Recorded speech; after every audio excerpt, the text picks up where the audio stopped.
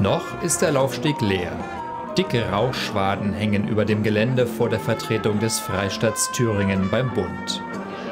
Beim diesjährigen Jahresfest der Thüringer Landesvertretung hat sich der Freistaat in Berlin wieder von seiner allerbesten Seite gezeigt.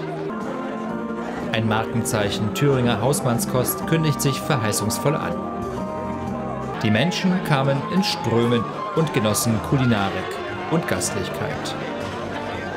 Landtagspräsidentin Birgit Dietzel nahm die Einladung gerne an und traf vor Ort viele Abgeordnete des Thüringer Landtags und Regierungsvertreter. Der Gastgeber konnte darüber hinaus den Politikbetrieb der Hauptstadt mobilisieren und freute sich vor allem über den Besuch von Bundeskanzlerin Angela Merkel. Alle Freunde Thürings machen sich einen schönen Abend und die Männer sollten gut hingucken bei der Mode, falls die Frauen da Wünsche haben, dass sie auch mal dran denken. Große Einigkeit herrschte bei der Wahl der Speisen.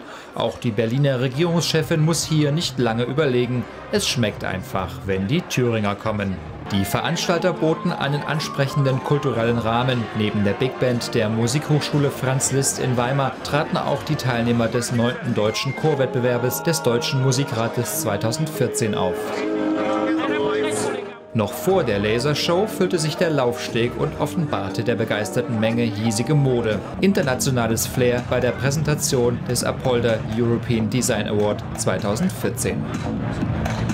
Nicht nur er war begeistert, sondern auch er, der gebürtige Thüringer und heutige Bundesbeauftragte für die Unterlagen des Stadtsicherheitsdienstes Roland Jahn. Beim Jahresfest der Thüringer Landesvertretung 2014 kam jeder auf seine Kosten.